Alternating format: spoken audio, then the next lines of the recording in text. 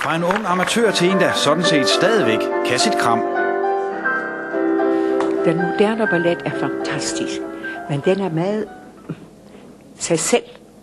Ind, ind, ind. Trinene er blevet lidt stivere med årene, men engang fejrede 95-årige Nini Tejlade store triumfer som balletdanser. I dag øste hun ud af sine erfaringer på entréscenen i Aarhus. Altså desværre er jeg jo handicappet, og det, det generer mig forfærdeligt. Men jeg prøver på at gøre så godt jeg kan, altså jeg render rundt med min stok, og så kan jeg i hvert fald vise herfra og op efter, hvad der skal ske. Altså hvis du kigger på hende, vil du så ikke sige, at hun er inspirerende? Altså bare det, at hun er til stede, og at hun er kvik, øh, det kan da kun inspirere. Hun betragtes som en legende blandt balletelskere. Hun har stået på de største scener i verden, og hun har langt fra taget sit sidste trin. Ah, jeg ville ikke kunne undvære det. Og den dag, jeg skal undvære det, så bliver jeg ked af det. Og den dag kommer, det er jo klart.